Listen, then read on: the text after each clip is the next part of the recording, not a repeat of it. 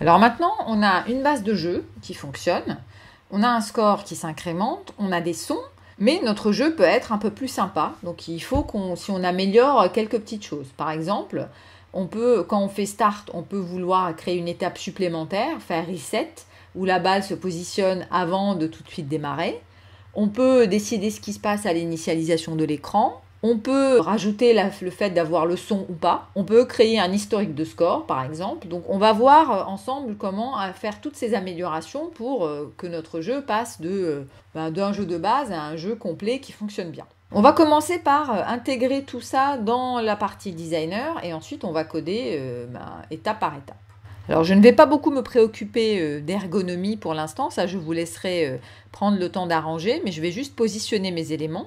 Donc, on a un bouton Start. On va créer un bouton Reset.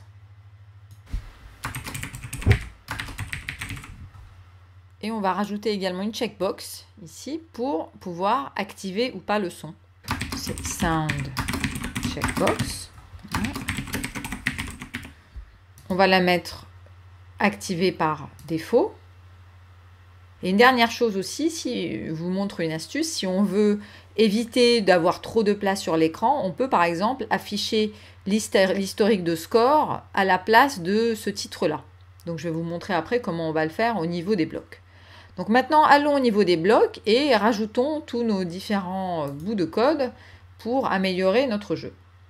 Donc que veut-on faire quand on fait reset? En fait, quand on veut faire reset, on veut positionner la balle, mais ne pas démarrer tout de suite. Donc on va dire donc il y a certaines choses qu'on a déjà mises en fait au niveau de start qu'on voudrait mettre plutôt au niveau de reset ou les dupliquer. On va mettre euh, par exemple positionner la balle. Donc on va dire la balle, on veut la positionner à tel endroit au niveau de reset et on veut la désactiver.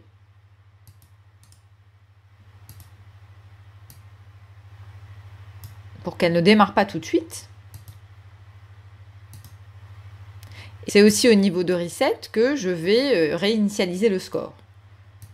Voilà. Et je réinitialise également le label du score. Je vais le mettre là. Et pour que ce soit encore mieux, je ne vais pas mettre ça, je vais mettre euh, join.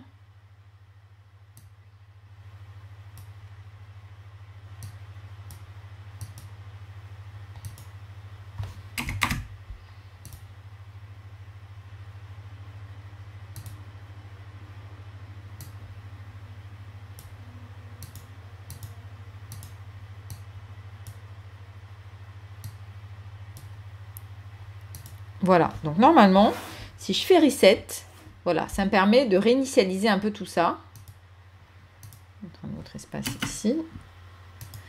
Réinitialiser un peu tout ça, positionner la balle pour que quand j'appuie sur Start, en fait, elle soit enabled et qu'elle démarre. Donc c'est peut-être un détail, mais ce sera, c'est quand même...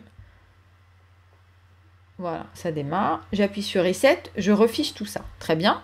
Alors, ce que je voudrais aussi, c'est que quand j'initialise mon écran, ce soit les mêmes conditions que Reset. Donc, on va rajouter ça au niveau de Screen One Initialize. Alors, voyez, comme là, on veut pareil répéter plein d'actions différentes. En fait, ça peut aussi être plus simple de dire, en fait, je veux créer une procédure d'initialisation. Donc, je vais dire, ben voilà, pour initier le jeu. Je vais mettre tout ça au niveau de cette procédure, comme ça je n'ai pas à le répéter deux fois.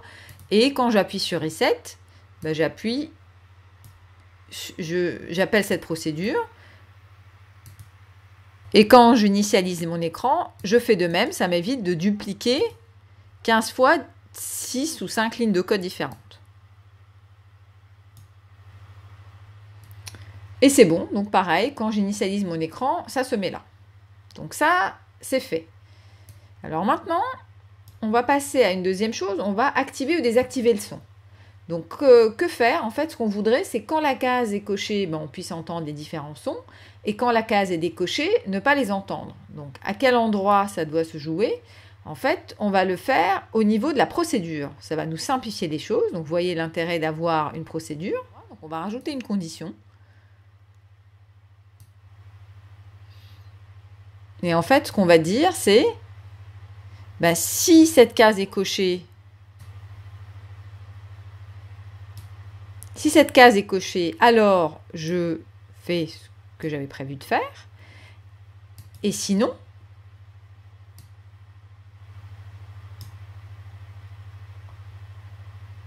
en fait, j'arrête Sound One. Alors, vous pouvez prendre stop ou pause. On va prendre stop.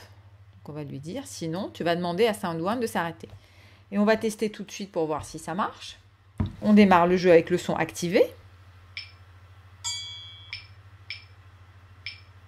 Je désactive. Voilà.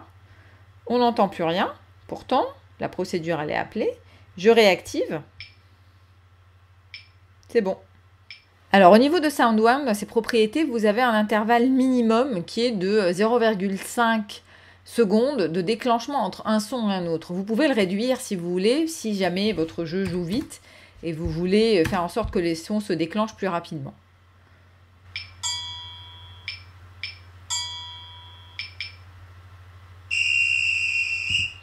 Voilà, donc c'est pour ça que parfois on n'entendait pas forcément tous les sons parce qu'ils s'enchaînaient rapidement. On a vu notre activation de son, on a vu start et reset, on a vu l'initialisation. Alors maintenant, dernière chose à voir, l'historique de score. Donc la première fois qu'on joue, on va créer un endroit où c'est écrit historique de score et on va dire bah, la première fois qu'on joue, l'historique de score va marquer le premier score que j'ai atteint. Donc imaginons que c'est 5. Si à la partie suivante, je dépasse 5, bah, ça remplace et le score à battre devient 6 ou 7 ou 8. Si je ne dépasse pas 5, le score à battre reste 5. Donc en fait, on va coder exactement ce que je viens de dire. C'est-à-dire qu'on va créer une variable qui est historique de score, à laquelle on va attribuer bah, le premier score qu'on va atteindre. Et puis à chaque fois qu'on joue une partie, quand on perd, elle va comparer le score atteint avec l'historique de score. Si l'historique de score est supérieur, il ne bouge pas. Si l'historique de score est inférieur, il est remplacé par la nouvelle valeur à battre. Donc on va faire ça. Donc ça veut dire que ça se joue au niveau de when ball edge reached. Quand on perd. Alors je vais vous montrer aussi comment profiter du fait de l'afficher à cet endroit-là, plutôt que de créer encore de la place supplémentaire dans le jeu, ce qui permettra après par exemple de, de donner plus de place à Canvas. On va créer une autre variable qu'on va appeler historique de score.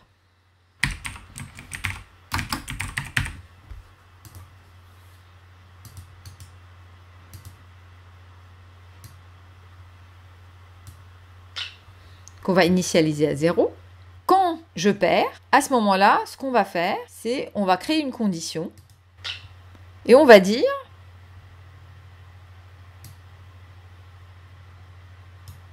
donc si mon historique de score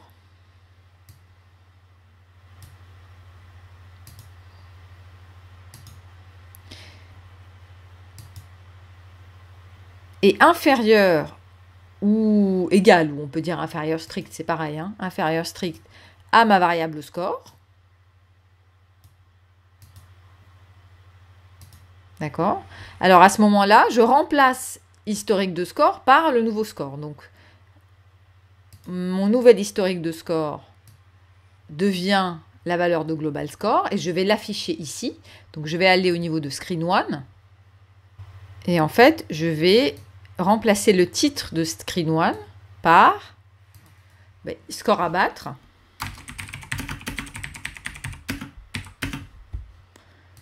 Et mon nouveau euh, historique de score.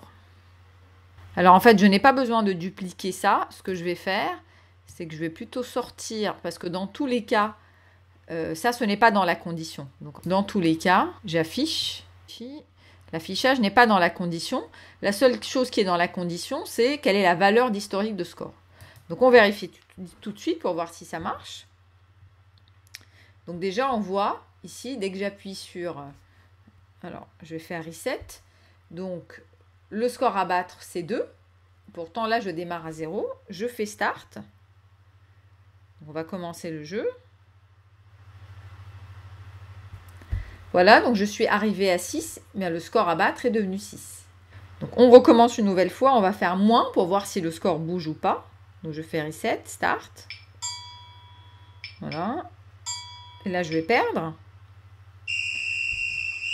Donc je perds à 2 ou 3, le score à battre reste 6. Voilà, donc nous avons fait tous nos petits aménagements. Alors, dernière étape encore à faire, c'est de créer un second écran. De préférence, on va pouvoir personnaliser les couleurs du jeu.